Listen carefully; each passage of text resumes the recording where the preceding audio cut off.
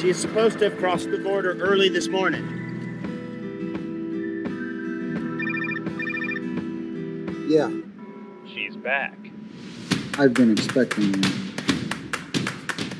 How do I know that I can trust you? Well, name your price, Parker. We'll be there mid afternoon. That is, if we don't run into bandits, police, cartel.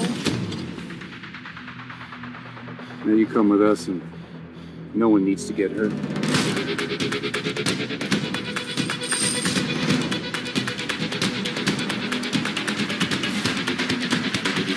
Sometimes you just gotta kill everybody.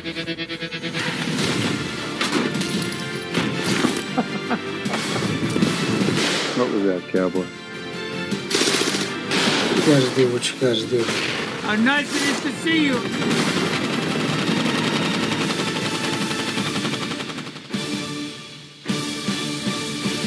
You need a breather?